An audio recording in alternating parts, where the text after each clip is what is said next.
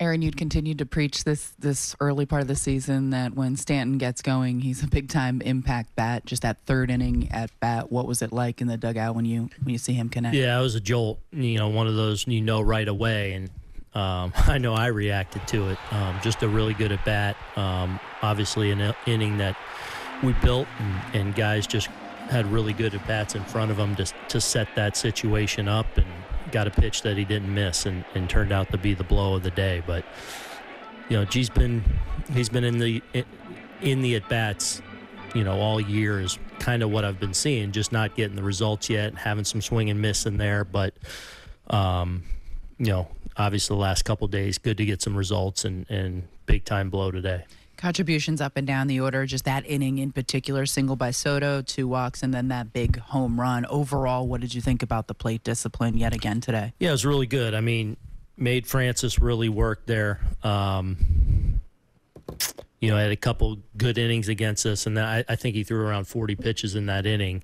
Um, but they just you know, made it really tough. And again, you're not always going to get the hit. It's not always going to end how you want, but you give yourself those opportunities, you got a real chance. Four and a third for Luis Gil. What did you say to him after that second inning? Obviously, there was a little kind of almost back and forth with Angel Hernandez. Yeah, you know, honestly, I thought he was missing a little bit, and um, you know, I felt like that that got the best of him a little bit out there emotionally, and I just you know wanted him to just focus on execution, like don't get caught up in that. You can't get, um, um, you know, reactive or emotional that a call doesn't go your way. It's about executing. And I thought he did a really go- good job after that tough inning of kind of settling in and getting back in the strike zone a little bit and attacking better. So, um, good learning moment. He settled in and, you know, obviously want him to get a little bit deeper, but, um, you know, gave us one run baseball into the fifth inning and, and set us up today. So,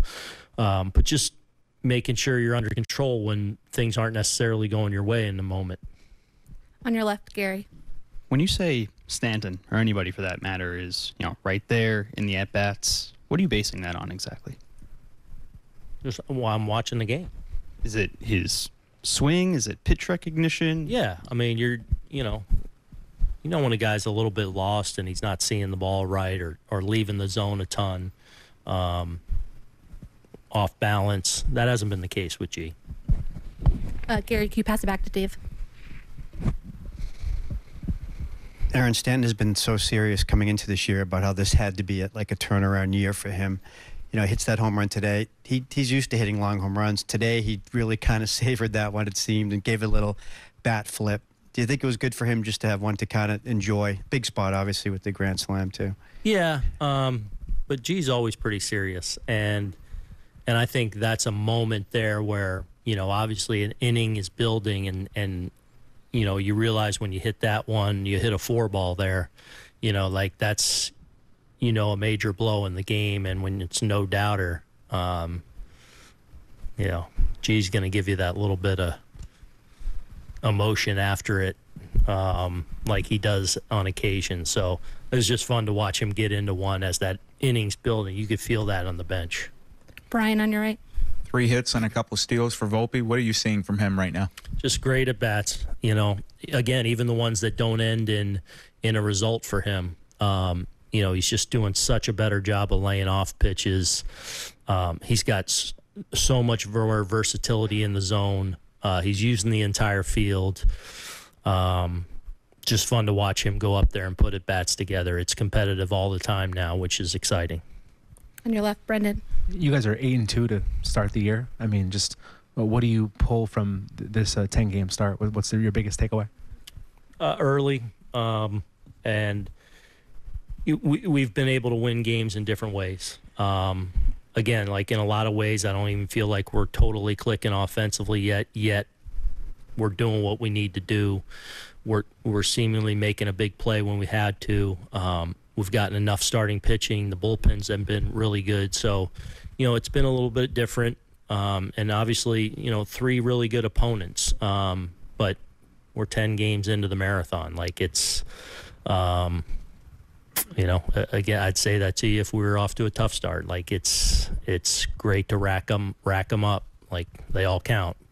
So, um, but it's been good that you know, I feel like every guy in there has contributed, and uh, and especially early, that's what you need. You need you need guys to you, you can't lean on the same guys every night. So we found a lot of different ways to win games so far in this first ten days. And speaking of leaning on guys, are you going to have to lean a little extra on Nestor tomorrow, considering uh, just how much your bullpen's been used these last couple days? Um, we'll see. Um, you know, I, I really wanted to stay away from Santana actually, and he goes out and gives us just a gutsy to be able to finish that game, give us four big outs there.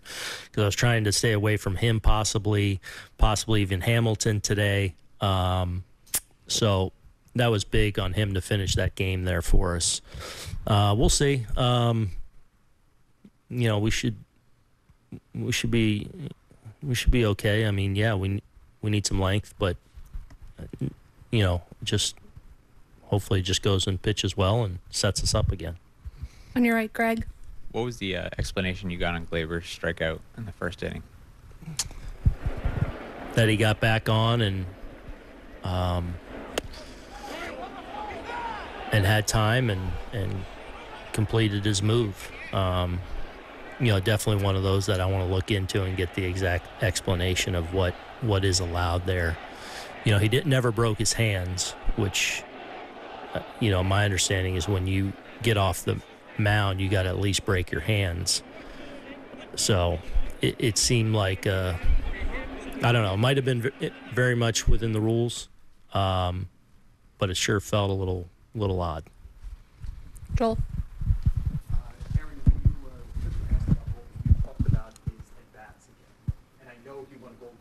And he stole a lot of bases last year. But I just wonder if you see a, almost an overall refinement in his game, like he almost feels veteran out there, even in his in year two. Yeah, um, I would agree with that. I think that's the kind of player he is. You know, when when he was coming up through our system, we envision him as kind of one of those core leader. He he's got that kind of DNA to him, and he's got that kind of baseball savvy to him, and and being in the middle of the diamond and playing kind of the all around game that he plays. You know, made a huge defensive play for us tonight again. Um, yeah, I mean he's he's starting to look like that complete, well-rounded, really good player, and uh, I do think he has that. Um,